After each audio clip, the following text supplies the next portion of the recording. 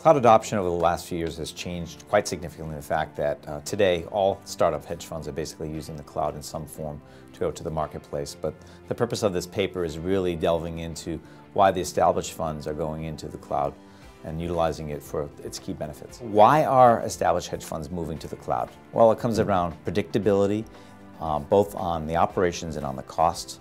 The whole idea of moving from a capital expenditure model to an operational expenditure model is really compelling. Basically eliminating the need to put capital up front to buy equipment and moving to a per user per month model is very cost effective.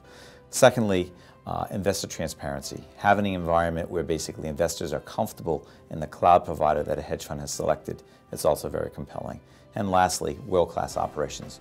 Working with a cloud provider that has delivered an environment that's robust, scalable, very manageable, and of course reliable. So when is the right time for an established fund to move to the cloud? Well, there's a couple of different ways to look at this. If they have an existing application that they'd like to move to the cloud, or they're deploying a new application, they'd like to consider using a cloud possibly to get greater scalability. So they might do that in a hybrid form, where having some in-house applications on their existing on-premise equipment, and partially some of the other applications in a cloud environment.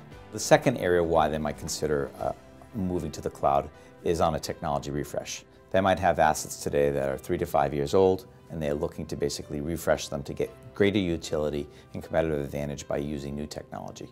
Rather than buying all that new equipment, the idea might be to go to a cloud environment where they basically don't have to worry about that capital expenditure uh, day one. And then the third area that might be considered for a move to the cloud is if they're moving offices. Rather than having to build out a new com room at the new office that they're moving to, everything could be moved to a cloud environment in a very robust data center and be able to go ahead and operate out of that data center and not worry about having infrastructure in an office that might not be well lit or have redundant power or cooling. So those cost considerations are all reasons to move to the cloud. Moving to the cloud provides predictability in how the applications are going to perform, not only from a management perspective, but a scalability perspective.